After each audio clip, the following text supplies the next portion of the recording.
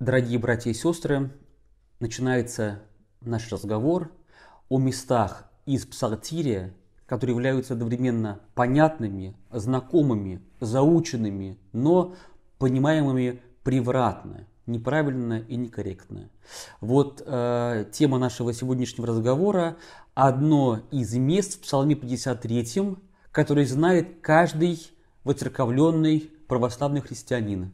Потому что читается псалом этот на шестом часе, э, в преддверии литургии, если вы приходите в храм к началу богослужения, минут за 5, за 7, за 10 до начала литургии воскресной, то вы точно слышали неоднократно, а точнее, скажем так, сотни раз вы слышали этот стих и как-то его понимали, да, по-своему. Но, как, видимо, выяснится в ходе нашего сегодняшнего разговора, понимали не то, что изначально было написано, да, задумано было автором.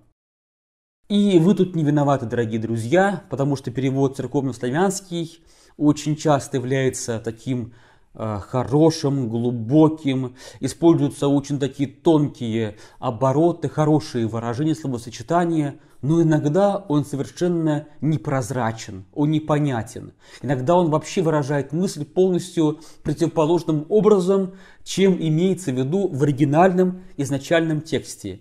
И все, что требуется сделать верующему человеку, обратиться к лекции, обратиться к книге, к комментарию и понять, что же тут такое имеется в виду. Итак, нас сегодня интересует стих 8 Псалма 53. Читаю перевод э, этого псалма на церковно-славянский язык. «Волею пожру тебе, исповемся имени Твоему, Господи, яко благо». Вот конец цитаты. Дальше не развивается эта мысль, это уже окончание псалма, окончание, которое, э, как правило, бывает в псалмах, такое уже мажорное, радостное, человек ликует, он доволен тем, что Бог ему помог или скоро поможет вот уже. И поэтому здесь вот э, излагается нечто э, позитивное, нечто связанное с благодарностью, да. Ну как понять это выражение «волею пожру тебе»? Ну я думаю, что те, которые люди учились в университете и знакомы с э, историей русского языка, с разными такими оборотами, с этимологией разных слов, могут догадаться. Да? Но вот э, слово «пожру», начнем, начнем с него, «пожру». Многие могут подумать, что есть знакомые однокоренные, однокоренные слова. Но есть два таких пучка слов однокоренных. Первое слово однокоренное, нам оно сейчас не очень э, важно, интересно, слово такое довольно вульгарное, жрать, то есть есть, но тут не это имеется в виду. А другое слово, такой пучок значений, слов русского языка, который имеет прямую связь с этим словосочетанием. Волю пожру тебе. Итак, что имеется в виду? Жрец, жертва, жертвоприношение – так вот, в славянском языке, в его древнем э, таком пласте, э, древней стадии развития, есть такой глагол «жерете», да, «принести жертву». Приносить жертву – это есть э, жерете или жрете. И поэтому жрец, приносящий жертву. Жертва – то, что приносит жрец. Жертвенник то, на чем жрец приносит эту самую жертву. И тогда, конечно же, а, волею я тебе принесу жертву. Тут такой смысл имеется. И, конечно, а, глагол еврейский а, «завах», он никаких других не имеет значений, кроме как кого-то заколоть, да кого-то зарезать и принести жертву Э, своими руками, убив животное Богу. Дальше. Волею. Волею. Что имеется в виду здесь? Тут имеется в виду э, особое, особый тип жертвоприношения, который практиковался в Древнем Израиле.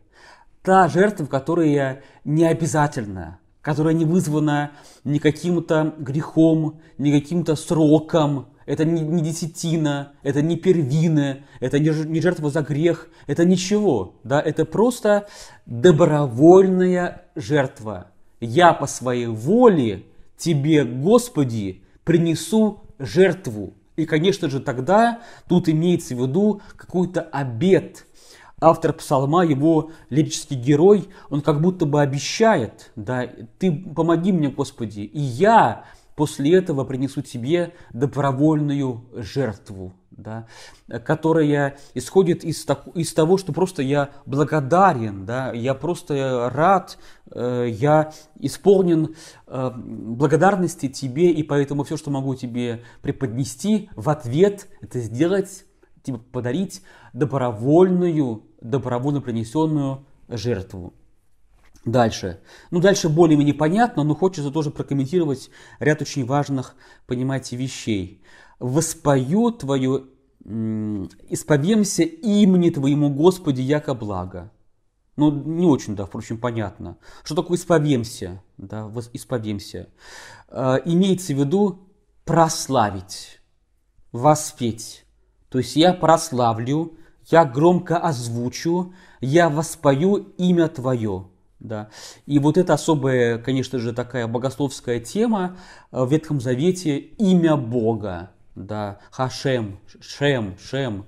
Очень часто это используется обозначение, заменяющее, замещающее э, самого Бога. Да? И когда мы э, воспоем имя Бога, то мы воспеваем Бога. Когда мы говорим во имя Отца и Сына и Святого Духа, мы до сегодняшнего дня сами не понимая, руководствуемся этой логикой. Если во имя кого-то, то во имя того самого, чье имя мы сейчас озвучиваем. Вот, поэтому, конечно же, здесь имеется в виду какой-то храмовый контекст. В этом храме а, принесена жертва, и в этом храме жертва обетная, жертва по обету приносится, и в этом же храме а, поется, озвучивается, прославляется благое имя Бога. Это имя Бога, это тот самый тетраграмматон, четырехбуквие, а, который однажды перестало евреями произноситься, и значение точного этого, точно этого имени, оно э, оказалось утерянным. Дорогие братья и сестры, приходя в храм, заранее, не опаздывая к литургии воскресной и слыша эти слова волею пожру тебе, исповемся имени Твоему, Господи, яко благо, будем понимать их корректным образом, как дано, как перевод нам дается в переводе РБО. Читаю я его. «Я принесу тебе жертву, Господи, воспою Твое имя благое». Или перевод э, синодальный, тут ну, гораздо более удачный, как мне кажется. «Добровольно принесу я тебе жертву, прославлю имя Твое, о Бог, ибо оно благо». Вот, дорогие друзья, читаем Библию, посещаем богослужения и понимаем псалтирь правильно. Партнер нашей лекции портал exeget.ru. Всего хорошего из Петербурга. С приветом, не болейте.